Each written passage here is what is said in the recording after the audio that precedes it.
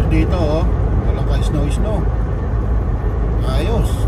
Ganyan palagi, pwede. Walang problema.